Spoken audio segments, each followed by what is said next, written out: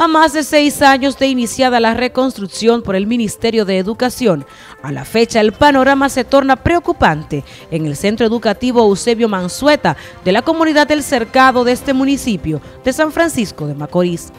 Docentes y comunitarios denuncian la dejadez de las autoridades ante una obra de importancia en la zona. El dirigente de la ADP Vicente Almonte asegura todo se ha quedado en promesas incumplidas. La respuesta es la que conoce el pueblo. Promesas, medidas de terreno, visitas, incluyendo decir que de la mano nuestra vino el departamento de, departamento de mantenimiento escolar y a raíz de ahí se ha estado por dinamizar algo. Pero el caso que nos ocupa, en verdad, pienso que tiene una importancia trascendental porque hemos dicho por medios locales y nacionales que los estudiantes de este centro debían pasar a esos espacios que son baldíos, que son cacao, a hacer necesidades fisiológicas.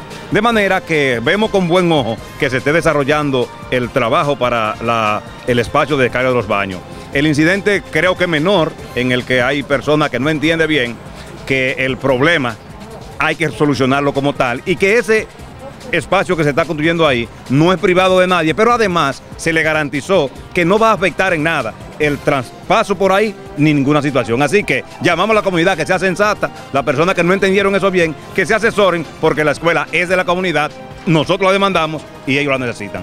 Imaginen, los docentes ya en este centro educativo han pasado de ser siempre docentes a ser magos magos, porque tienen que hacer trucos, peripecias y marabares para poder impartir la docencia a los estudiantes del centro, por las condiciones del mismo, por la responsabilidad de las autoridades, por la falta de cumplimiento con los acuerdos con ADP y la comunidad en lo que las, las autoridades han incurrido.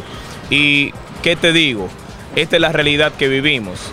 Hoy es el Eusebio Mansueta, pero hay otros centros que están en las mismas condiciones, donde los maestros tienen que hacer de tripas corazón, como decimos en el populacho, para poder impartir la docencia a los estudiantes. Aseguran los docentes que la revolución educativa del 4% aún no llega a este centro educativo. Para NTN, Joanny Paulino.